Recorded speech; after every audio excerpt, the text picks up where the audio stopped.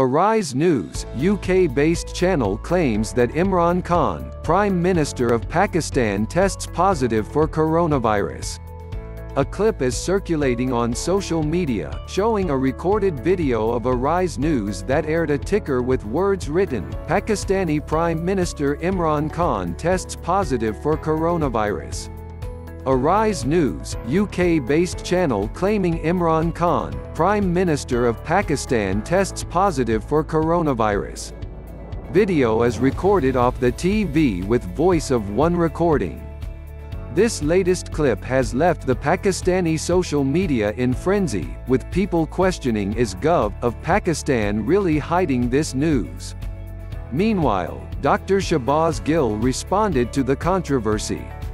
The British newspaper mistakenly wrote the name of Prime Minister Imran Khan and misinformed that his corona test plus had come.